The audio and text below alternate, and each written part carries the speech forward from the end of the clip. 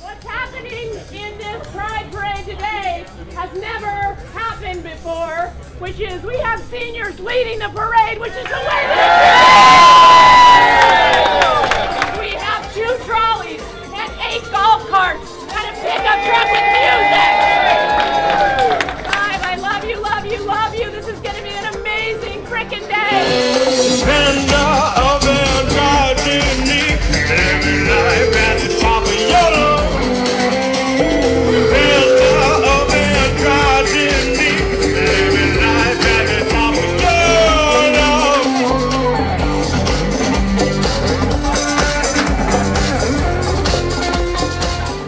Idea of community and, and being together and appreciating one another. In this day and age, basically, when there's so many, so many things that we need to be grateful for and that we, that we, that we, that we are, are so proud of, and especially in this day where it is the day of, of, of that we actually celebrate Pride. You're you're 64. You could be considered one of our elders Yes, here. Like yes, it, so, indeed. with the opportunity here, what what would you like to impart? What can we learn from you as as an LGBT elder? Well, basically the fact that we need to support each other, we need to take care of each other.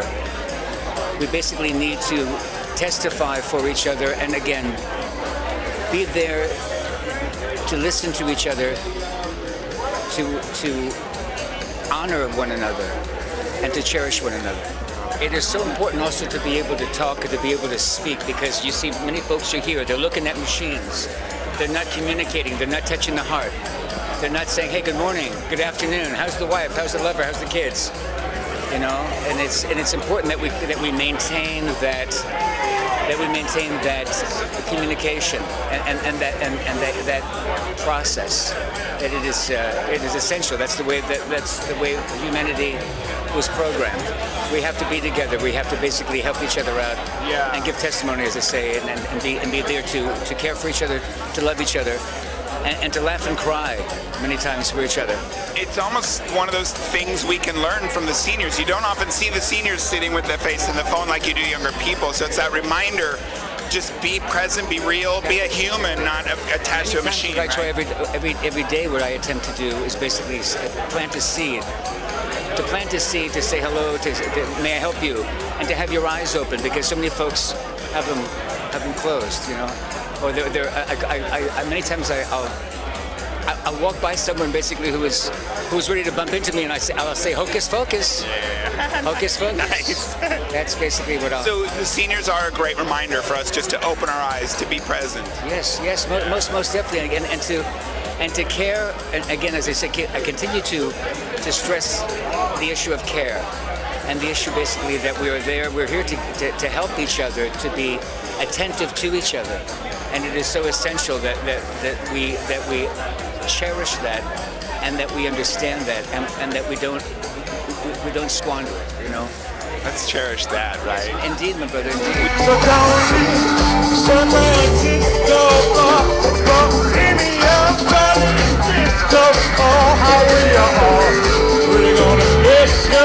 Oh, oh, oh, oh, oh. For those of us who care about the seniors, any uh, ideas, advice, suggestions of what we can do to reach out, to support, to build community and help seniors feel a part of something?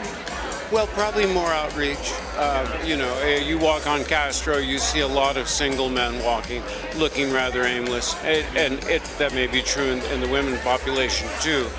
But I especially see it with the men, that you can tell they're just kind of rolling around without without a whole lot of purpose, and I think that's usually loneliness.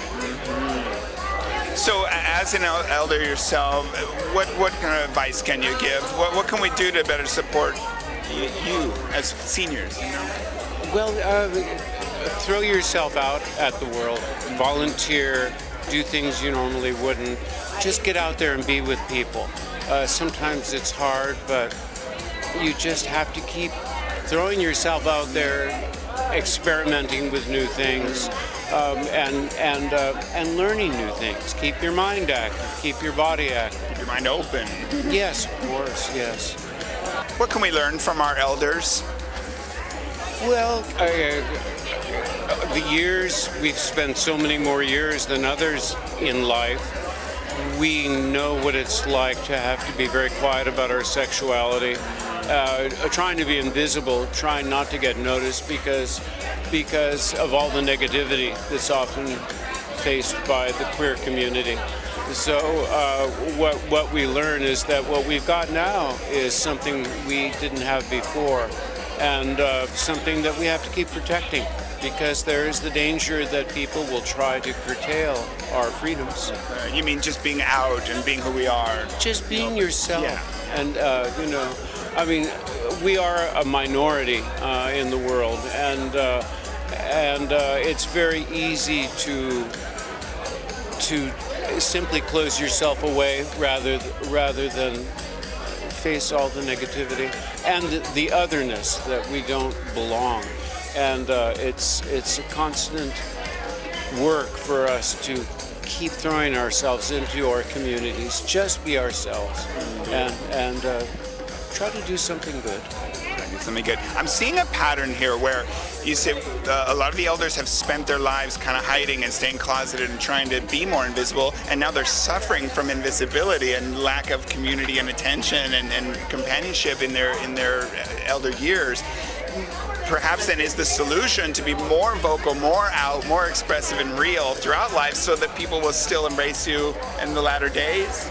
Yes. Validity to that. Oh yeah, yeah. Uh, because uh, uh, so much of the culture really doesn't recognize elders other uh, other than comic characters, and and uh, uh, it, it's it's very hard not to be marginalized because so much of the culture focuses more on on youth uh, as opposed to past experience and wisdom and uh, and the same needs as anyone. What's the value of past experience and wisdom?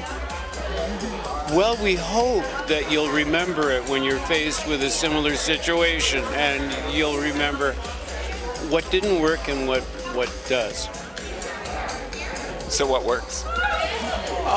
What works is uh, look before you leave. And, uh, Okay, pay attention, in other words. yeah, yeah. Right, assess your surroundings. Yeah. Focus and, and, and try to get input from people. Look for other people who you recognize for wisdom and, and, and uh, d- do things with the support of people you, you admire and, uh, and whose, whose wisdom you respect.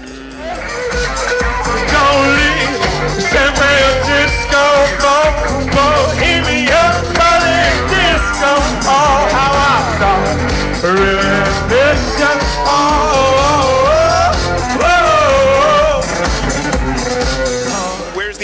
come from to reach out to the seniors in particular? Uh, because uh, when my my grandparents, you know, they were like as they got older, people were like leaving them and not coming to visit them, and so it was kind of hard. So from there, I was like, man, it's not like when they tell me stories when they were growing up and how they came up and how we came over here to the United States and stuff like that. So it's interesting how they live their lives and how different it is from then to now.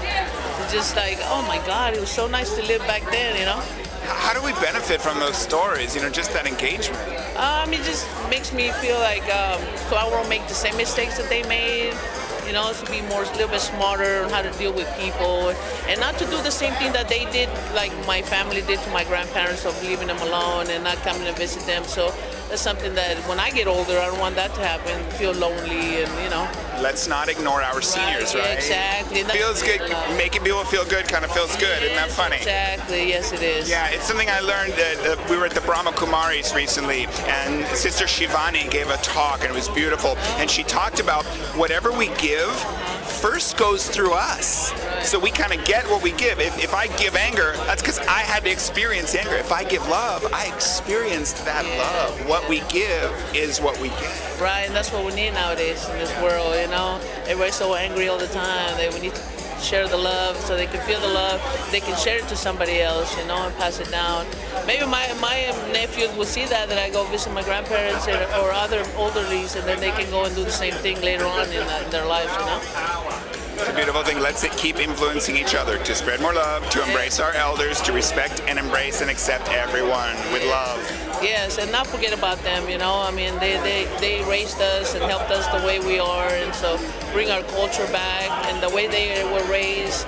And little things that they, they like cooking, you know, it's totally different now than when they were cooking. So, but it's nice to learn how they were eating and how they were cooking, you know. And then sometimes you might put that in your own cooking, you know. So it's it, it's nice. It feels good to help elderly people, you know. Yeah. It's wonderful.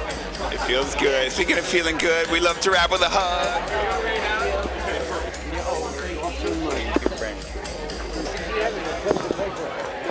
I hope that next year you come back to me and you say, ha ha ha! You said it was a one time thing, but now we're doing it every single year!